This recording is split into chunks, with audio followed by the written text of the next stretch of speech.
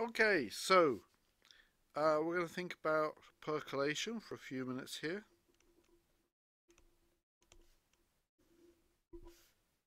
So, one of the key things with percolation, of course, is that we have a grid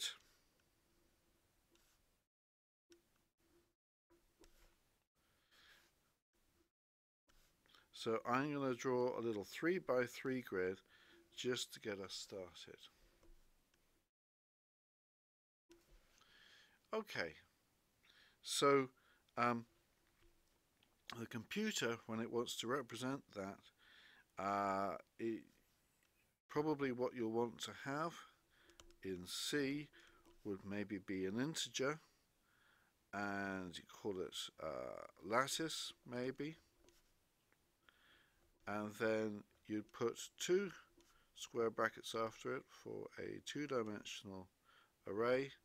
In this case the two sides are 3 and 3 what that gives us is elements from lattice 0 0 through to lattice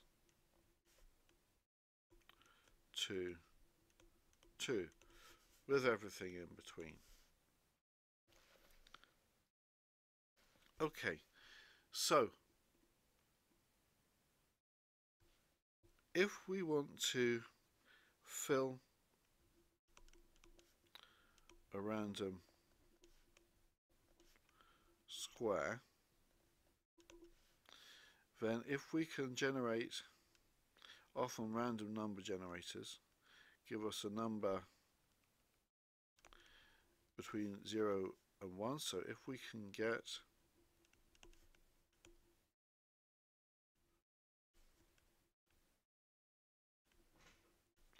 between 0 and 1,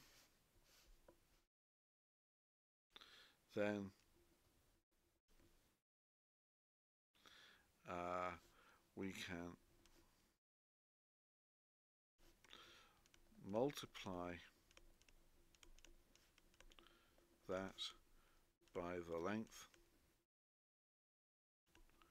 of one side and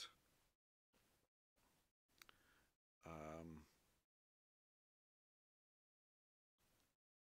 get a random position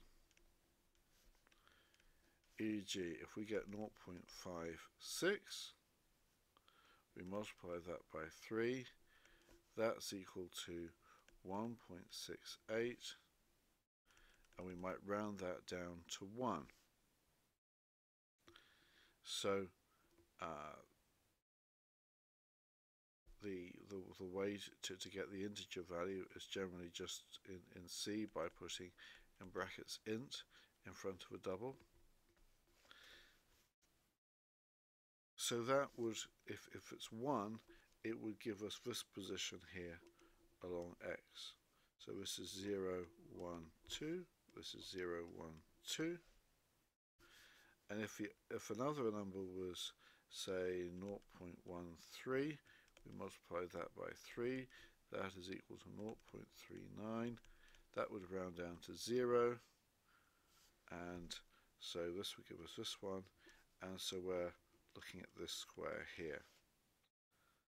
And what we could then do is set lattice uh, 0, no it's, um, well you have to figure out which one of these is x and which one is y.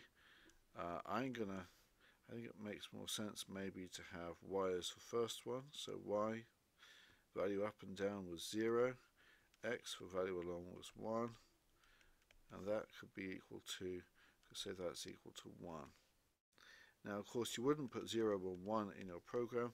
What you would do is put some sort of maybe um, n x and n y values. They should be integer values of course um, but sort of integers in the x and y direction